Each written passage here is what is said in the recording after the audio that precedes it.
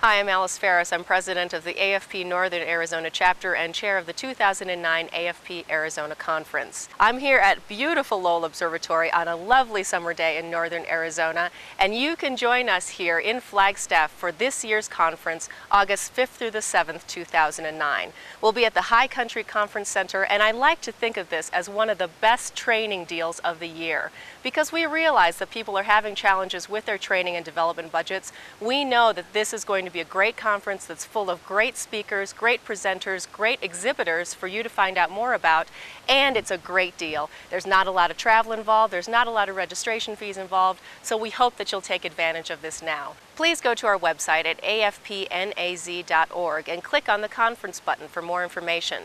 We have a registration form, information about our speakers, and of course information about the registration fees. We hope to see you August 5th through the 7th, 2009 at the High Country Conference Center in Flagstaff.